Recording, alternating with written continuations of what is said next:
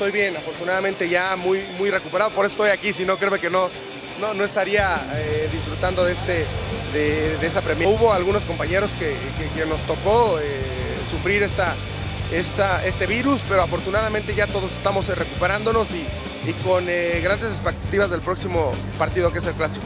Llegaríamos con, con, una, con un momento anímico buenísimo para encarar el clásico y, definitivamente que lo necesitamos en América y, es un partido como, como se dicen en cada, y como lo hemos dicho en cada temporada, que no se puede perder.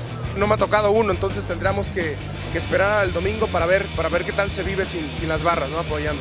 Si no me equivoco, van a ser eh, películas dramáticas, pero con un final feliz.